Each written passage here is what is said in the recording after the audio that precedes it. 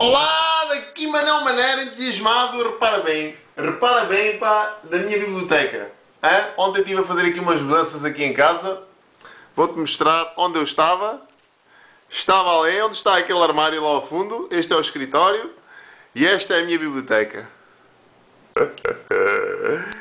E resolvi fazer este vídeo hoje para partilhar contigo a importância, vou pôr aqui isto aqui no, no tripézinho, ora cá está, a ver se não cai a importância de tu saíres da tua zona de conforto, ok? Eu além estava confortável e deu-me algum trabalho em mudar, portanto, o meu escritório para este lado, aqui a minha secretária, biblioteca aqui atrás de mim, como eu gosto. Isto realmente é desconfortante, mas a mente expande. E quando a mente expande, dá-te outras perspectivas, dá-te outras ideias que tu aplicas à tua vida, ao teu negócio e a tua vida cresce nessa dimensão, nessa perspectiva, nessa direção.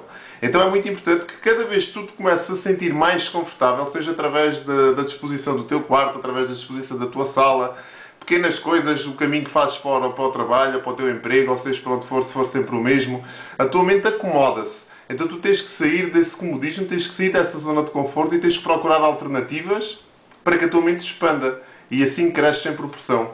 Esta é a minha dica para hoje. Pequenos hábitos, pequenas alterações fazem grandes diferenças na tua vida. O meu desejo é que tenhas muito, muito, muito sucesso. Podes contar sempre comigo para te apoiar nesse caminho, nesse percurso, nesse sentido. Forte abraço, obrigado por existires. Até ao próximo vídeo e espero que gostes aqui da minha biblioteca. Até ao próximo vídeo.